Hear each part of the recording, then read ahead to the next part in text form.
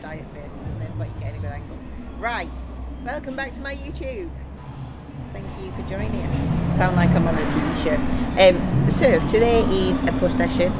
I haven't filmed push for a while. Um, I think the last time I filmed push was actually with Carl, and we did um, female for push explained Oh, yeah. and why it's important to to train push a female, whether you're a competitor or not. So today we're going to go into how to maintain strength or at least feel like you're progressing even when in a deficit. So obviously I'm in a large deficit compared to when I first started prep. It's like 2,000 calories less than when I first started. So obviously a big deficit for me. Um, and push is the first kind of session to go a little bit weaker, which is normal. My joints are so small. Like I don't think that until someone sees me in the flesh that they actually realise how small I am because I am a very small human um, who's obviously trying to pack a lot of size onto a really small frame.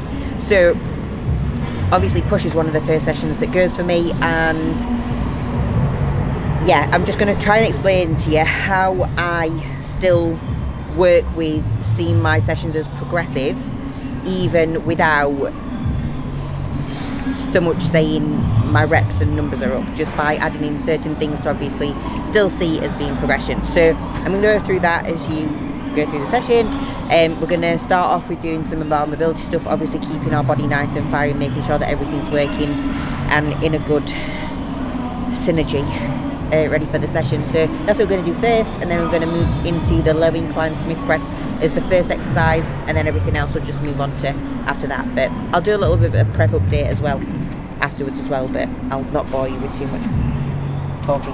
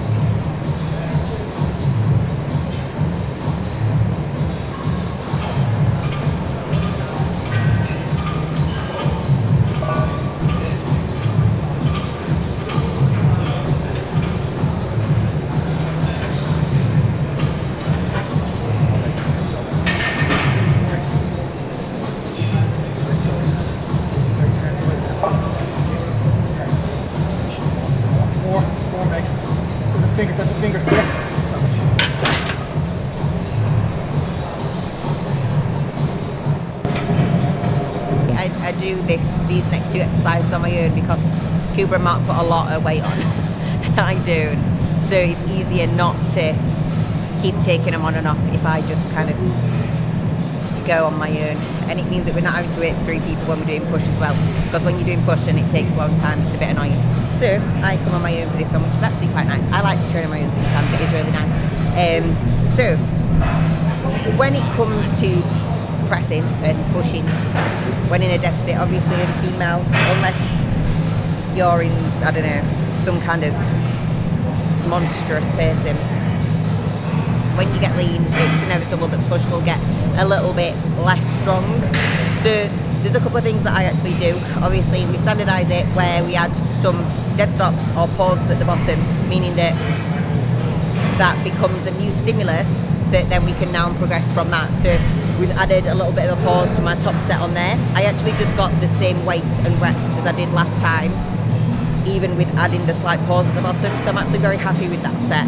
I'm um, going to move on to this one now, and because this machine within the range of motion allows me to dead stop, I'm going to dead stop at the bottom, meaning that range of motion stays perfect, control has to stay perfect, otherwise you bounce it out of the bottom, and means that I can progress from here now that we've got a dead stop rather than doing it as kind of a continuous motion. So that's one way to actually standardise things and continue the progression when you're in breath.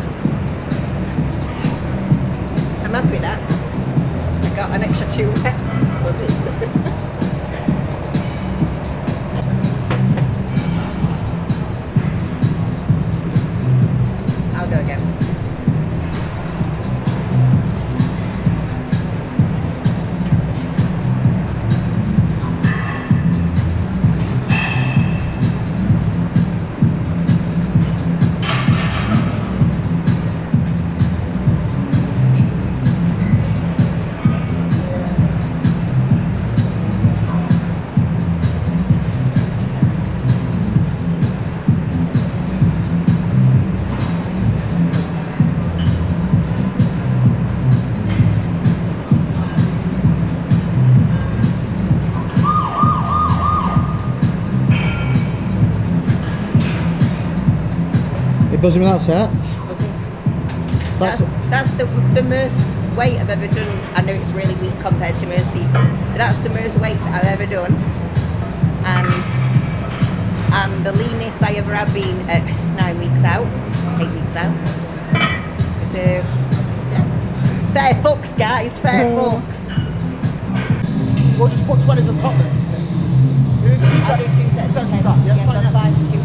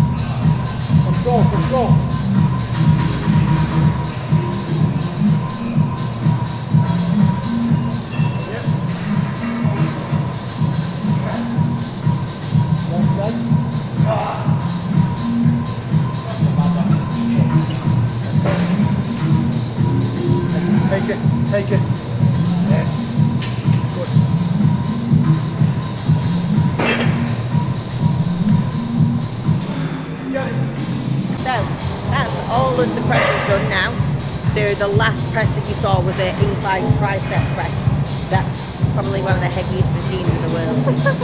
um, but no, that's all the presses done. All of them progressed, whether that be um, through improving form from stripping back, which none of that applied for today. I added in a, de- a dead stop at every single press that was able to. So the tricep incline press, of the prime presses. So with that added extra pause, obviously makes it a little bit harder. So anything would have been a progression. So now I've set base numbers for that, I can start to move up with that and get stronger with that for a, a little bit of time before that becomes kind of where we start to progress and then we'll try and switch it up something else well. Um, and then obviously we did the incline press where I added a pause at the bottom which I got the same rep, so it was a progression on like another level, so I'm happy with that. So now we're moving on to some isolation stuff. With our push sessions now, we actually do, obviously, pretty much all upper line here, plus biceps, and then back onto the deltoids again. So I'm going to do the bicep overhead curl now, looking for a two second pause in the peak contraction. Again, makes it a little bit harder and stops us from putting loads of weight on the sack and throwing it around. It's got to be nice, slow and controlled and that will help me keep my muscle. Last year, I trained like an absolute dickhead. Like, I'll say it and I'll put my hands up to it. I trained like a dickhead and I didn't do any of this and I lost a lot of muscle. Um, I mean, like, I wasn't big to start with. Like, I'm a lot bigger now, but the way that I train now will allow me to hold on to muscle much more than what I did do last year. So learn from my mistakes and don't do what I did.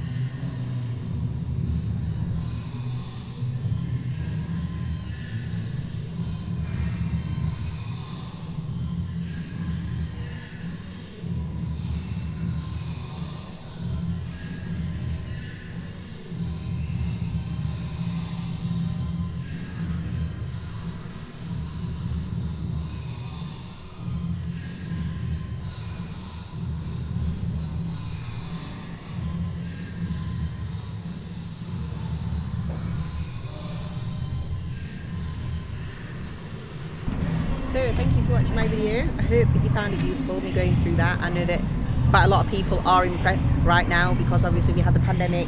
It stopped a lot of the shows, especially in the UK. I can imagine that like 75% of the UK bodybuilding population is probably on prep right now. So if you're female and you watched it, I hope that it's helped you.